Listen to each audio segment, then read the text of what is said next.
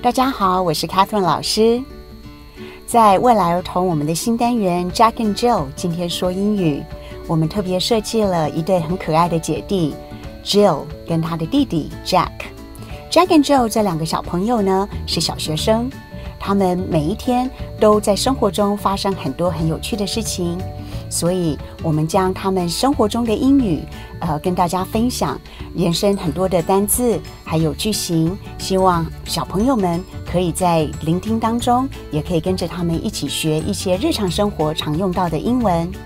另外，在这个单元中，也有 Let's Try 以及 Do You Know 的一些小单元。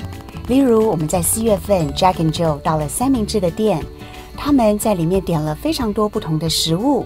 那我们除了可以学到不同的三明治的名称之外，我们的 Do you know 单元也是跟大家分享。你们知道为什么三明治叫做 sandwich 吗？赶快打开来听一听，你们就可以知道，原来它一个非常有趣的这个由来哦。